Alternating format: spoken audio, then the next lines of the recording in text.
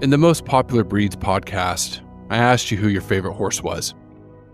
I named Tari, an American quarter horse, is probably my personal favorite, and then a famous racehorse. And if you haven't listened to that, you can go back and, and, and listen to the first few minutes and see who that was.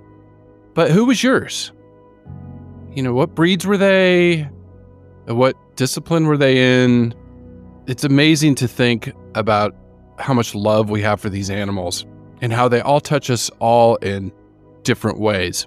And then here's another story about a champion horse that's still with us today. And this is a mare who was born on April 1st, 2004, April Fool's Day. But I'm going to tell you, this mare was no fool. Her father was Street Cry, her mother was Vertigineux, and just this year in June of 2023, she actually delivered her seventh foal, a filly. And I could sit here and argue that being a mama was her most important job. But when it came to competing, this mare could not be touched. At the peak of her career, no horse in her discipline can come anywhere close to what she did. She's a true champion. She was actually voted Horse of the Year in 2010. Her lifetime earnings were $7,304,580. Incredible athlete. Unlike the other horse I talked about in her first race, it was in California, the place of my birth. On November 22nd, 2007, she won by three lengths. So, right off the bat, you knew there was something special about this horse. Then, just a few weeks later, she won again. And then, guess what? In a grade two stakes race a month later, she won again. This horse is now 3 and 0 and she's entering the prime of her career. In her four year old year, she went out in a grade one stakes race and won. And she just kept winning. Later that year, she was 8 0. She was racing at the biggest race of her life, the Breeders' Cup, against all other mares and fillies. And guess what? She won. The following year, entering the pinnacle of her career. She's 13 and 0, and she's going to get her shot at the boys in the biggest race of the year, the Breeders' Cup Classic, $5 million purse. And guess what? She beat each and every one of them. She won again. This female racehorse went on to win her next five races. She was 19 and 0. And as I tell her story with tears in my eyes, I'm not kidding. 19 and 0 going for her 20th win. All of our hearts broke in that final race when she lost by a head. This is the greatest, not only female racehorse, but probably the greatest racehorse ever to grace our planet. Her name is Zenyatta. And Secretariat being led, he is number. The horse. And the horse is the best thing in the world, isn't it? So I suppose one's always, I've always loved them, really, ever since I was a little girl.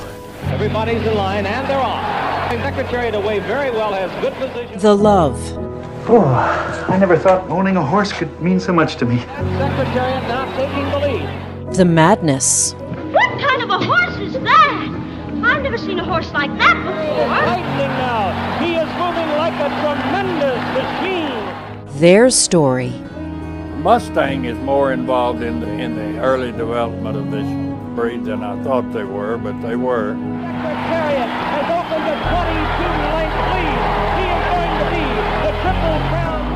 Welcome to Mad About Horses.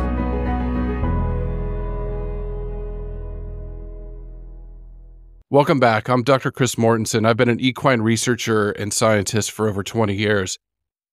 Telling that story of Zenyatta, it does bring a tear to my eye. And, I, and I'm not kidding as I tell it. And, and I had to take a break after telling that story because knowing horses and knowing what they do for us and, and, you know, not just in entertainment like a race, But being in her hooves and understanding her drive and how she beat every horse she came across except that final, final race.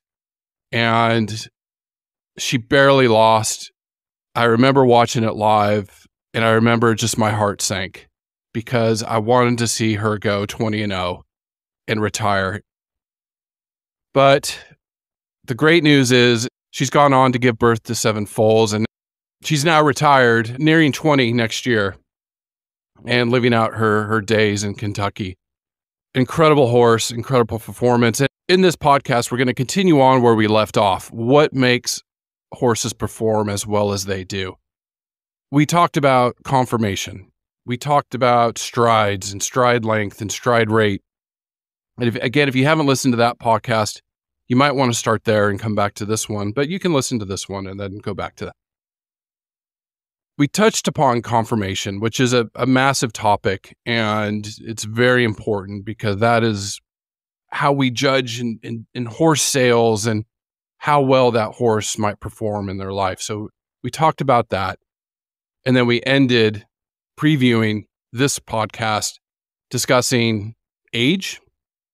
Zenyatta was five years old at the peak of her career. And, and, and is that true for all racehorses? So we'll talk about age. But what about other disciplines? You know, what about show jumping, eventing? What does the data show? Then we'll look at gender.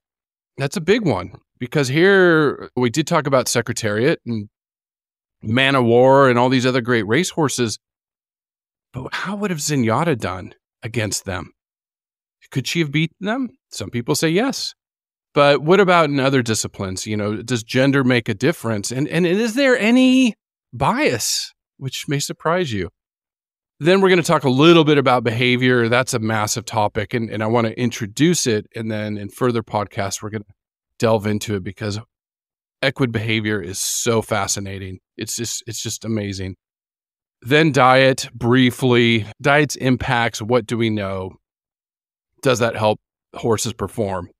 And then we won't get to breeds in this podcast, but we do have one in the works in an upcoming podcast about breeds to specific disciplines. But as I go through this podcast today, obviously some of the breeds will, will be attached to the studies that we talk about.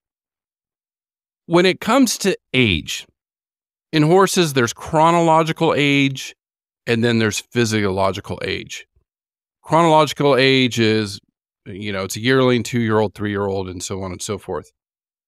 Physiological age is really referring to the internal functions of the animal. They reach an age of peak performance, and then senescence or older age starts to creep in.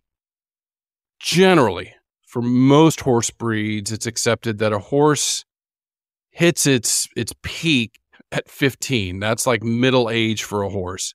And then they gradually uh, enter old age until, until they live to be 25, 30. And I've got a couple studies on when the average age is, is when they, they move on to the, the great green pasture in the sky. But we also know there is some individual differences. There is breed differences. Some horses peak earlier. And then it's also environment, how well they were fed, how well they were cared for. All of those play a big factor into how well a horse can perform and then how long they can perform and then into their later years how long they can live. I think it would be easier to also, when we talk about horse ages, to compare it to our own ages. And, and we do this with our pets, right? With our dogs. You know, dog, one year in a dog is seven years in a human. Horses, a little bit different. What's interesting about horses is they mature relatively quickly. They grow fast. Anybody that's worked with foals, yearlings, two year olds, you see they reach their adult size within three to five years. But By the time they're five, they're considered fully mature. It is generally accepted that by the time they're one years old, they're close to 90% of their adult height. Two years old, 95%. Three years old, close to 100% of their adult height. Then you get them filling out more, the bones changing a little bit, and teeth, which again, we'll cover in, in a future podcast. but by the time they're five, they're considered physically mature.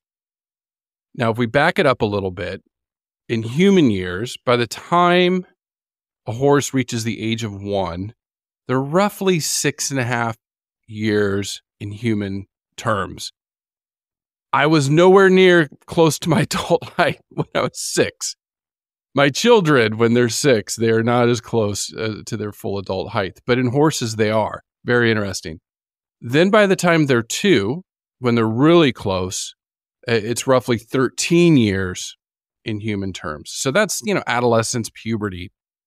When horses are three, that's roughly 18 years and and that's a teenager, right? So so that's our 2 and 3 year olds, their level of maturity is like a human at those ages.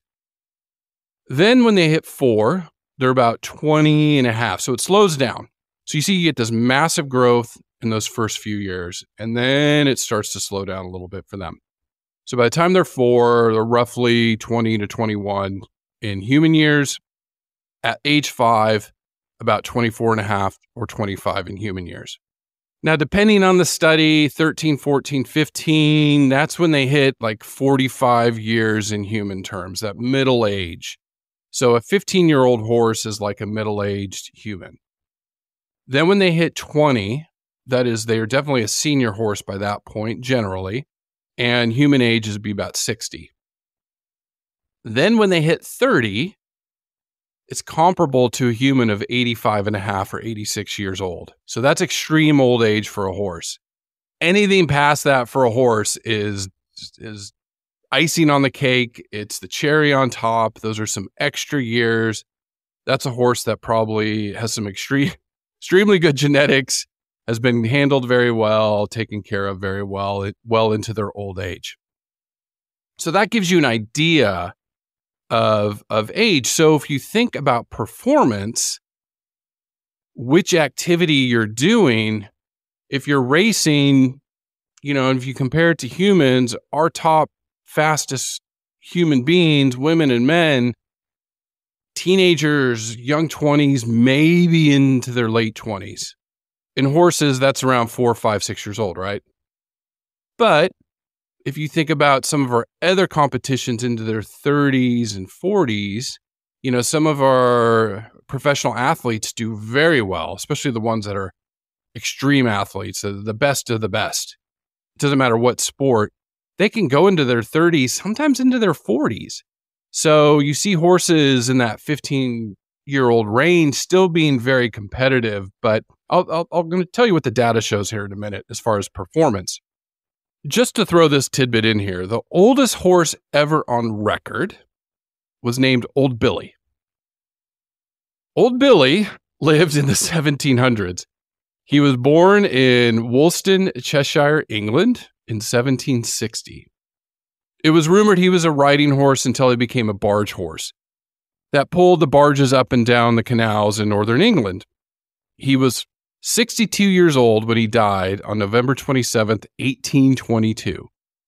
He is the oldest known horse ever, which is an incredible feat. So it is possible for horses to, to live into their 40s and 50s. And I'm going to give you some data uh, to show you how good our, our domestic horses have it. When we look at wild horses, so there's a few studies out there looking at average ages of of wild horses that die naturally in the wild. So there was a study in Quaternary International uh, published just a couple years ago, and it was a determination of season of death and age of Equus ferus. It, it's a long title, but basically looking at the bones of these horses and determining how they died. They were not hunted. This was all natural. And it just shows you how harsh and cruel the wild can be. The average age of the horse that died during the cold season, because you would think during winter, that's when most horses would die, right? Was 7.43 years. But during the warm season, the average was 8.08 years. So there wasn't a significant difference. It means maybe the, the, the cold winter was a little bit harsher and they died younger then, but mostly what the data is showing is wild horses live according to this study, seven and a half, eight years until nature takes them. Either illness, colic, starvation, pre- predated. You, you, you, know, this is the, the wild is a harsh, cruel place. But then, yet, when we look at our domestic horses that can live to like an old Billy, 62, which is abnormal, that most horses are not going to live that long. But I know of horses that have lived in their 40s, well into their 30s. A couple studies that I pulled some averages from. This one in Preventative Veterinary Medicine that was published uh, 10 years ago. So the data is still pretty current out of the UK. And when they looked at mortality of geriatric horses, which is again after 20, that's when they enter their senior years, the average age was 24.4 years. And that was data from hundreds of horses. So 24, 25, that's pretty good. You know, if they once they make it to that uh, 20 year mark, they have some good years left to to enjoy their their retirement. Or, you know, riding. A lot of horses still ridden into their 20s. Another interesting study that was uh, talking about care of aged horses. This was a study in veterinary pathology uh, published again uh, just a few years back. When they were looking at the causes of death in older horses, like young horses, it, it always comes back to the digestive system. Over 51% of the horses that were older than 20, their cause of death, it was some digestive disturbance or colic. We know that's the number one cause of death for young horses so in, in in a future episode, we'll talk about colic and nutrition, but that's why we always go back. Feeding the horse is so important. How we feed the horse is critical, and what we're feeding the horse is critical. So that was the the majority of cause of death of old horses. Then the next cause of, of death was only 12% of all the horses that that died of, in old age, and it was pituitary gland. So there was some abnormality there. So nutrition was the most critical when it came to older horses passing away. So, with all that, there you go. So, horses living into their 20s and their 30s, wild horses not making it, you know, on average, eight years old. We know the oldest horse ever could live to be 62. The big question is at what age are horses most competitive? Which is probably what you're most interested in. So, getting to the point, like I said, going to be discipline specific, but let's look at just racing and thoroughbreds. So we talked about Zenyatta. In her five year old year, she was at her peak. And that is actually what the data shows. Generally, in horse racing, four and five year old thoroughbreds will beat the three year olds. So the big races, the Kentucky Derby, the Preakness, the Belmont, the Triple Crown is only for three year old horses the Breeders' Cup Classic is for three year olds and older, and mares and stallions or geldings. So at her peak at five, Zenyatta beat them all. Then the next year, she lost by a head. She fit, still placed second. I mean, come on, 19 and one, incredible career. And that's when she was six. So in her at the peak of her prime, she couldn't be beat. And the data shows in thoroughbreds, you're right. Four and five year olds, they're the top of their game. Doesn't mean three year olds can't win, but in the Breeders' Cup Classic, that hasn't been done in 15 years. It, it it's really takes an exceptional three year old horse on that day to beat the older four and five year old horses. And that's because four and five year olds are more mature. Like I said, at five, they hit their full maturity. In this study, the effect of age on thoroughbred racing performance that was published in the Journal of Equine Science a little over 10 years ago, they just looked at performance and age in racing. On average, uh, the peak for all thoroughbreds was about four and a half. Then they start to gradually decrease. So when you look at just pure speed, okay, so we'll take out other factors like winds and all that stuff. If we just look at the speed of the horses, two and a half year old thoroughbred, you know, really low. And then they really don't start to, to really increase until three and a half years old. Then they peak at four and a half, which maintains a little bit till they're five. And then you start to see this decrease when they're six, it's low. And by the time they're nine, it's back to similar to when they were two and a half, three years old. So that's where they peak and then they go down. So, not to keep talking about Zenyatta, but she was six when she did that final race. And that was right before she saw, you know, in, in against the averages, you see this big decrease. So, just shows you the heart that she had and how incredible she was because by six, she was racing against three, four, and five year olds.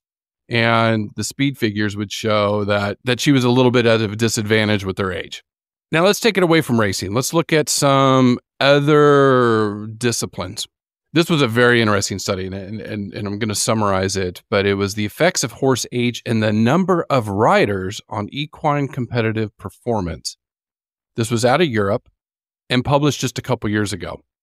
So, really, two goals. They were looking at the number of riders over the course of the horse's career. So, it's like how many times they either changed riders or were bought and sold and, and moved somewhere else. But I felt the more interesting part of this study was they were trying to identify the age at which a competitive jumping horse reaches its maximum competitive performance. This was a, a big study. Uh, 3,097 horse competitive result histories were u- used, and participation in 277,198 jumping competitions. A big statistical analysis of looking at the 3,100 horses, close to 300,000 jumping competitions. To summarize what they found is the performance in jumping horse really culminates it, it, peaks between their ninth and 11th year. Then beyond that performance starts to decrease. In the really good horses uh, performance 10 11 later that's really when they peaked and then they kind of just reach their peak they don't go beyond that and then they kind of decrease over time so when you compare that to racing horses. So again, racing horses hit hit their peak really early. Jumping, probably dressage, eventing, and show jumping, which I have a study that's going to talk about that in a second. Horses reach their peak, you know, midlife, 10, 11. That's about it. And then they start to gradually decrease. So looking at their results at 4-year-olds, very few were competing at the top level of competition seven, eight, nine year olds doing really well. And then, you know, again, peaking that eighth, ninth year, 10th year, they're there. And then you see this gradual decrease in numbers of horses that are able to compete at the top levels. Where this study looked at horses that were 19, and there were still a few in there competing at the top levels in show jumping. So just because they hit 10 doesn't mean their careers are over sometimes you get these special horses like good old old Billy that push the limits, right? And that's exciting data because as we care for these animals better, better diets, better veterinary care, we're seeing them live longer and perform better at older ages. So it's really exciting. Now, quick on the number of riders because I mentioned it. This study showed horses with fewer riders, one or two over the careers, did better compared to horses with three to four riders, and then even, you know, way better than horses with five or more riders in their prime years.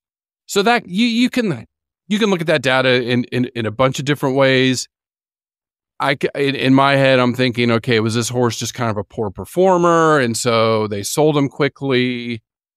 Is there behavioral issues with this horse? Did this horse hit some health issues that affected performance? There's a lot of different factors into that. But if I'm looking to purchase a top show jumping horse, the data shows in this study at least that those that have had fewer riders will do better in their careers. So that's probably something you can put away if you're out shopping for for jumping horses. Now when I talked about eventing just a few minutes ago, what is eventing? And and eventing's probably I know there's eventers listening to this podcast and it probably for me is probably one of the incredible sports out there in horses because it combines dressage, show jumping, and cross country. If you listen to the previous podcast, I talked a little bit about dressage. I'm always blown away whenever I watch horses doing dressage. I just, those riders are so incredibly talented. Doesn't mean show jumpers aren't, doesn't mean our jockeys aren't. I just watch the riders do dressage and, and it's just the the cues are so subtle and the, and the I think it's just the epitome of of the relationship a rider has with their horse. So I enjoy it just as a lover of horses. But eventing goes way back to the Olympics uh, since 1912. And it combines these three events dressage, show jumping, and cross country. And each horse rider combination takes part in each phase over about 13 days today. And then they're judged on all three phases and given a final score. So you've got to have a horse that's extremely talented. And in an upcoming podcast talking about performance breeds, I'll talk about some of the top eventing horses in the world. I found a very interesting study out of the UK talking about the impacts of horse age, sex, and number of riders on horse performance in British eventing horse trials. And this was published just a couple years ago. When you dig into the data, uh, the authors state in, in all cases, and looking at all the data that they had, and this was again thousands of, of data points. When it came to performance, age is the most important variable for predicting how well the horse is going to do. So, again, that eight, nine, 10 year old range is really where horses do the best. What their data showed. Now, when it came to gender, I will say in this study, mares did worse. Geldings overall did best. Mares overall had the worst performance in eventing. Stallions, it depended. You, they were really polarizing. It's interesting when you look into the data why, why they talk about it. You had stallions that did incredibly well, and then you had stallions that did very, very poorly. And they they associate that with breeding season, stallions could be distracted. We know physically changes that happen in mares and stallions during the breeding season. Stallions tend to have a little bit more cortisol. Their their their head's not in the game. Let's just put it like that. So that could be some of the the impacts, and that's what the authors stated. Now, looking at ages at the top level of eventing, mares were eight to nine years old, geldings about 10, 11, and then there was no data on stallions because they didn't have any uh, to, to make any statistical analysis at that advanced level. I know when we talk about breeds and the top stallions in the world, there are some incredible stallions that are at the top of their game dressage horses, show jumping horses. This is just this study saying, hey, we didn't have enough data. So generally, you know, stallions may not be desirable because they are such a handful sometimes. Taking all that together, though, the authors do admit sex or gender is generally the weakest variable in predicting performance. So that made me think do male horses perform better than females? You know, are, are are geldings because I know many friends and, and being in this for over 20 years, geldings are preferred. They're they're great. They're like puppy dogs. Once you remove uh, their testes and they don't have that testosterone, they're less aggressive. And people tend to think they're easier to train, but I've, you know, trained stallions, worked with stallions, have had friends that have ridden stallions, and they will say stallions can be the best. And that's kind of what that data shows. If you have a very well trained stallion, they're going to do very well because they have that testosterone. So they're able to develop more muscle. Yet, Zenyatta, that's why I opened up with her. She proved them all wrong. She was the, one of the top thoroughbreds ever to live, if not the top thoroughbred, 19 and 1. So it, it, it really makes you think okay, what does the data say? I'm going to tell you, it's going to be discipline specific, I think. And, and the, data isn't very clear, like I just showed you with, with, with gender. It, it's not the true chooser all the time. I know this from personal experience dealing with reproduction in horses and polo horses. In polo, they want mares. They don't want geldings or stallions at all. Females are always preferred over the males because they're they perform better in polo, they're easier to train in polo, and they have greater agility. I've ridden polo mares. They can cut on a dime. They are incredible horses, incredibly intelligent. And working in reproduction, embryo transfer, the research I've done, and my colleagues down in Argentina, anything in the polo industry, they only want to implant female embryos when they do. And in future podcasts, we'll delve more into reproduction and technologies, but the things we can do today is they're breeding those polo horses for females. So there is a definitely a gender bias in polo and with good reason. But what about all the other competitive events? And in horse racing, you know, Zenyatta was able to compete with the boys because she was such a spectacular horse. She had the numbers, she had the statistics as far as speed, things like that. So you could see it, say, oh, yeah, she'll be competitive against the boys. Let's put her against the boys. And she raced and beat them. But in some of these other disciplines, eventing, show jumping, dressage, you know, is is there a bias? And so there was a very interesting study done down near me here in New Zealand, Australia. It was published just three years ago. The title is Reported Behavioral Differences Between Geldings and Mares Challenge Sex Driven Stereotypes in Ridden Equine Behavior. The premise of the study was yes, we know there's gender bias with polo. But what about in, in show jumping and some of these other events? Is there a gender bias? And so the authors did a large survey of, of horse owners and they had uh, 1,233 responses, and these were horse enthusiasts, riders. Most of them had over eight years riding experience, and they and they wanted to get these these ideas. Did you have a preference? And in fact, they did. That riders actually did prefer geldings over mares and stallions. But when they looked at like behavior and and, and comparing it to the breed, so you had all sorts of different breeds of horses that these owners worked with Andalusians, Arabians, Hanoverians, quarter horses, thoroughbreds, thoroughbred crosses, uh, Welsh ponies. So it was a wide range of disciplines, but overall, they preferred geldings. And then when they looked at behavioral differences, so they asked them, well, do you notice these 11 ba- behavioral traits, any differences with your horses? The data showed that it's actually kind of funny they found that mares would be significantly more likely to move away when being caught. And, and that made me laugh because I've worked with hundreds of mares in my reproduction studies and they never wanted to get caught, but I don't know what horse does. And geldings were most likely to be chewing on their lead ropes when tied up or chew rugs, which I found which I found kind of funny.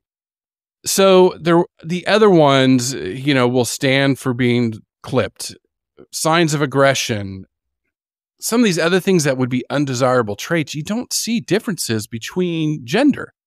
So these authors just think there's there's some preconditioned or preconceptions about horses and mares particularly that they're a little bit more difficult to work with that could lead to some welfare concerns. That's that's a big issue down here in this part of the world. We talk a lot about animal welfare and mares may be punished more often. People may give up on them quicker than say a, a gelding or a stallion. So I think that was kind of an interesting study. And that's again why I talk about Zenyatta and, and these other super mares. So we can make the, the, the playing field even in some of these disciplines. But sorry, boys in polo, eh, they're not going to want you.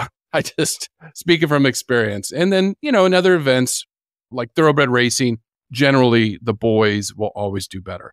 They're just bigger, stronger, faster but you get one like Zenyatta come come along and, and destroy those myths or destroy those those preconceptions. Okay, so that leads to behavior. Massive topic. It's so fun. It's so fun to study horse behavior. And I was literally on the phone uh, the other day talking about this topic with my best friend, Dr. Angie Adkin. We did research together at the University of Florida, and, and she's still there while I'm down here in New Zealand. And she was one of my first graduate students that came through my program and, and really impacted my life and in so many positive ways. And our families are very close. But we got talking about behavior because she's the one that got me into behavior. She really talked about how important studying behavior is. And there's some incredible behaviorists, equid behaviorists out there. Uh, Dr. Sue McDonnell's one of them, many, many others. And when we thought about behavioral differences, we got talking about uh, a couple things, and one was diet because Dr. Adkins' master's project was a PhD level project we did with Dr. Lori Warren there in Florida. And that was feeding pregnant mares during their last 90 days of pregnancy. And then through lactation, we were supplementing them with DHA omega 3 fatty acids, which we find in cold water fish, tuna, salmon, what we found as far as behavior was incredible. And this was all Dr. Adkins urging. So what she did is she looked to see how easily foals, uh, you know, fear responses as far as target training.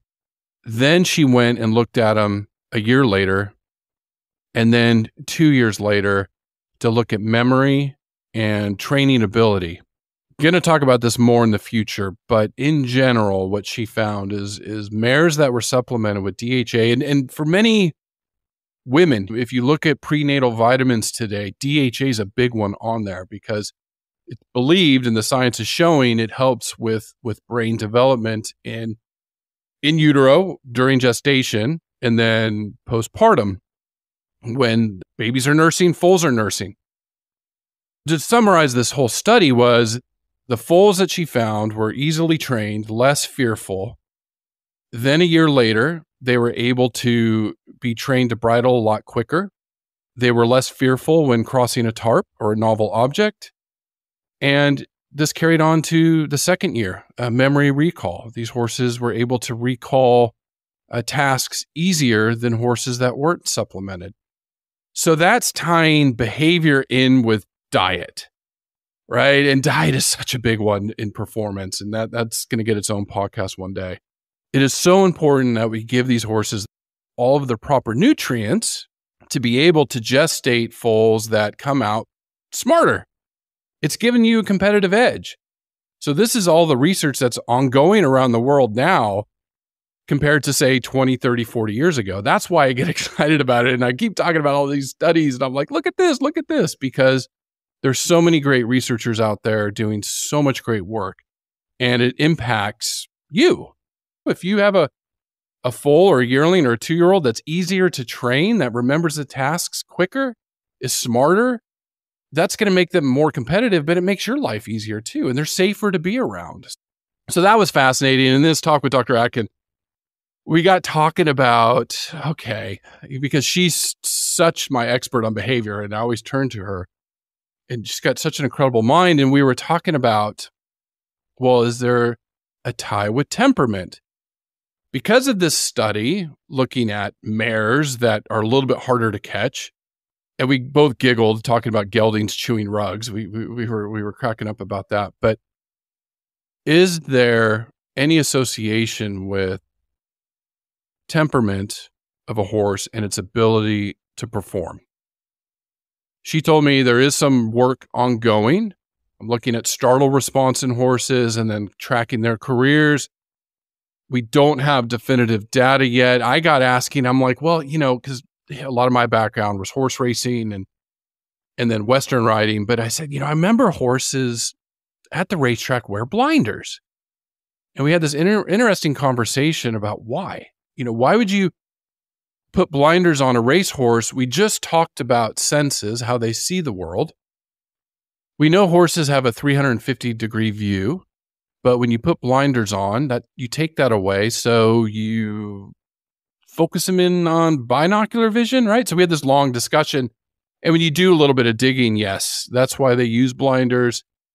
The trainer's really trying to reduce any distractions to the horse, focus them forward, running down the track trying to reduce any startle reaction. So this could be a horse that is flighty. Maybe it is a little bit temperament's a, a little off.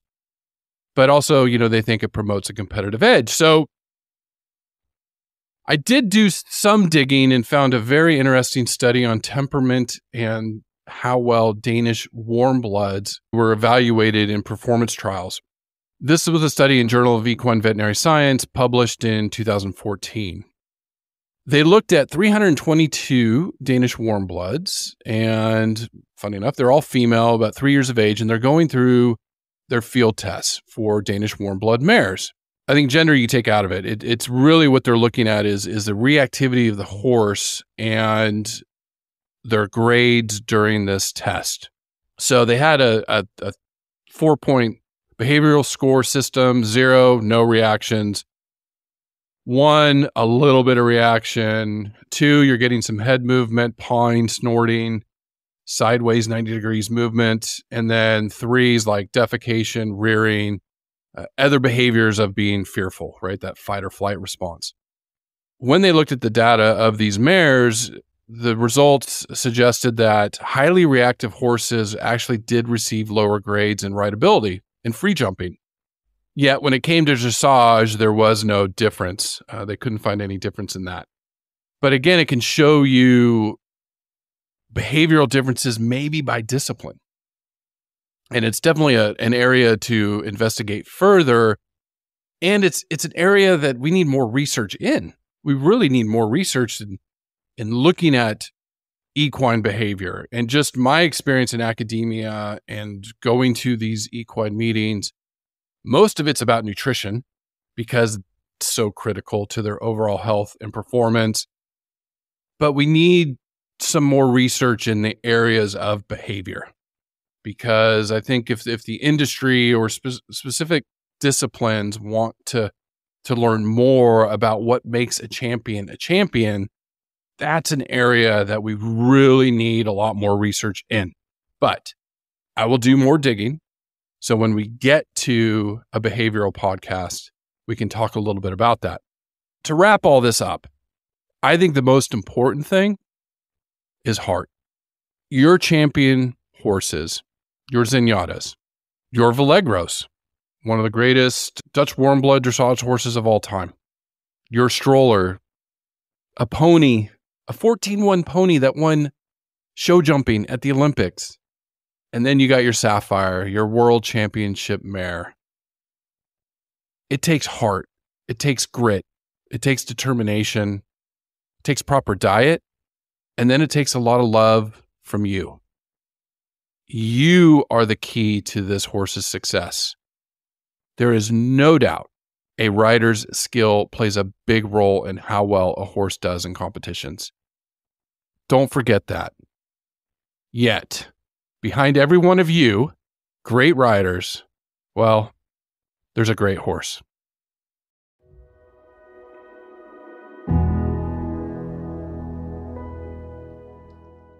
Uh, welcome back.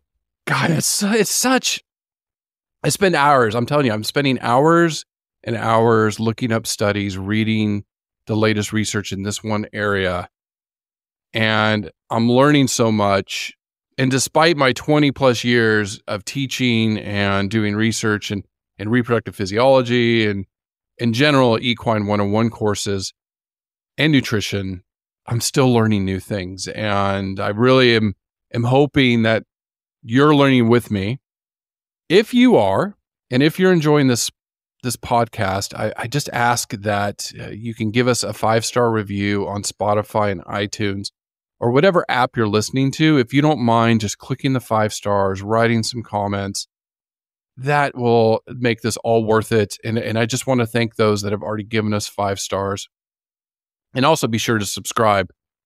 It's going to help us get this information out and circulate so we can make the world better for horses and, and then in turn you also, if you don't mind sharing this with your equine enthusiast friends and just say, hey, check out this podcast. If there's one that we're, you know, we're at, at episode 10, if there's one that you really enjoy, say, listen to this. And, you know, week in, week out, we're going to keep bringing these topics, tell these stories, tell these stories of not only famous racehorses, but how about old Billy?